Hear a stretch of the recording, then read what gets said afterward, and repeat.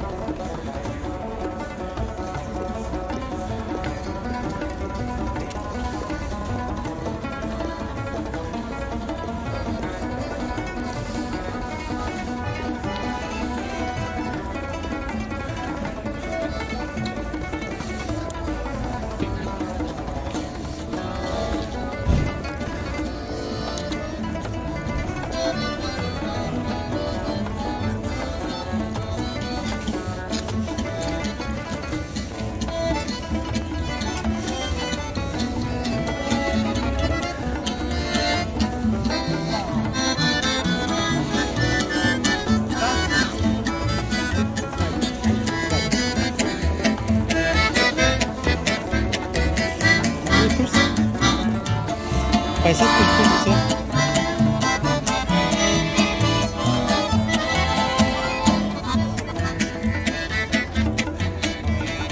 파트 어